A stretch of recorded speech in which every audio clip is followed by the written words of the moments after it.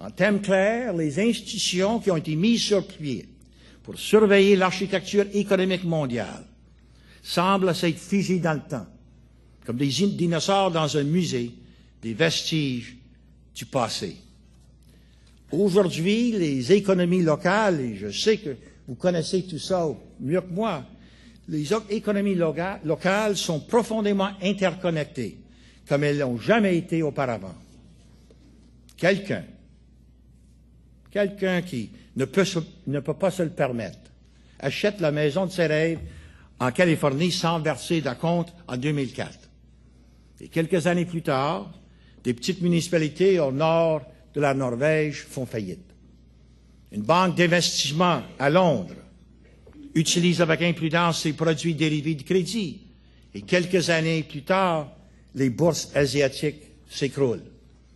Bref, maintenant que les marchés financiers sont vraiment homogènes partout dans le monde, maintenant que l'économie mondiale est composée non plus, non pas de un ou deux géants économiques, mais de cinq, six ou plus, il faut changer notre façon de regarder le risque et il faut modifier nos institutions pour en tenir compte. Et voilà, pour moi, le point fondamental de tout, tout ce qu'on fait maintenant. Pour les sceptiques, laissez-moi vous poser la question suivante.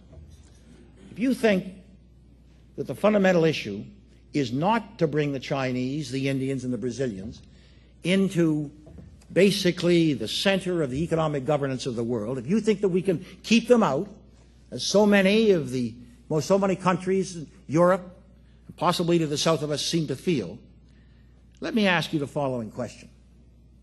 Si les marchés du monde sont si homogènes que personne n'échappe aux conséquences de l'effondrement du marché de l'habitation aux États-Unis, que va-t-il se passer lorsqu'un problème similaire se produira dans une économie émergente importante?